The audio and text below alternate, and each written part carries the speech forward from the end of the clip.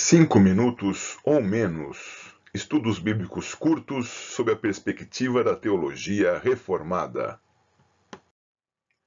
Olá, eu sou Fernando Abraão e hoje nós vamos estudar algo sobre o conceito de verdade. Verdade. Que é a verdade? perguntou Pilatos para Jesus. Lá no dicionário de filosofia do Nicola Manhano, nós temos a definição de verdade conforme cinco relações: a relação de correspondência, de revelação, de conformidade, de coerência e de utilidade.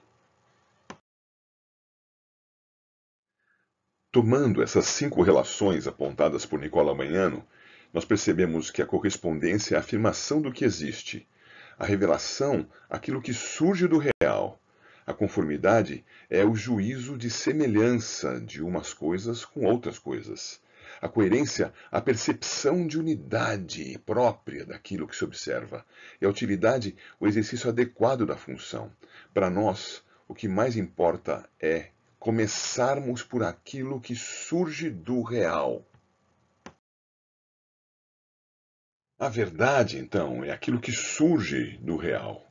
E a partir disso, então, é que o observador percebe o que surge do real, interpreta as suas percepções, verificando se elas são conformadas, coerentes e adequadas ao que surgiu do real. A percepção interpretada poderá produzir conclusões, convicções, conceitos próprios verdadeiros, isto é, aquilo que o observador corretamente interpreta ser conformado, coerente e adequado ao que surge do real, ou aquilo que o observador, ao perceber, interpreta de maneira falha, errada, a respeito do real. Aquilo que o observador incorretamente interpreta ser conformado, coerente e adequado ao que surge do real. Assim, em resumo, nós podemos dizer: a definição, o real, a verdade, é o que existe.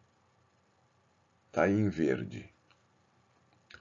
O observador poderá perceber o que existe e poderá interpretar aquilo que percebeu. Da seta verde da definição, vamos para a percepção em azul.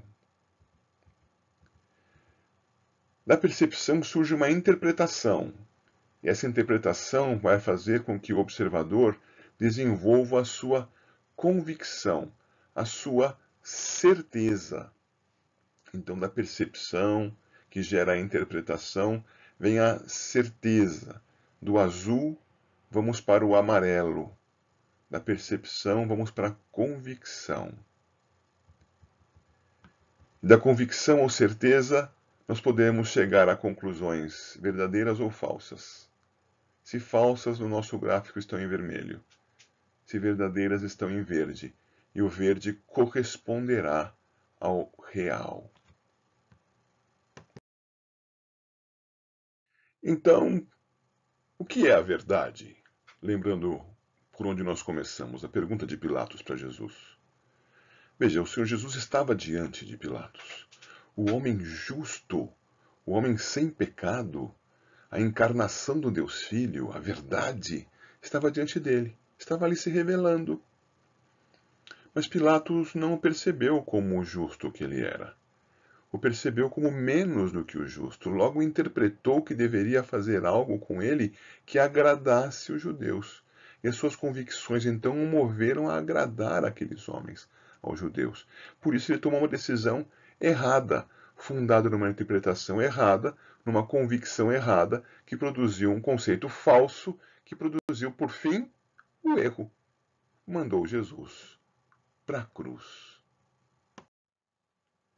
Este foi os cinco minutos ou menos de hoje. No próximo, nós vamos pensar nesses conceitos e aplicá-los a Judas Iscariotes. Até lá!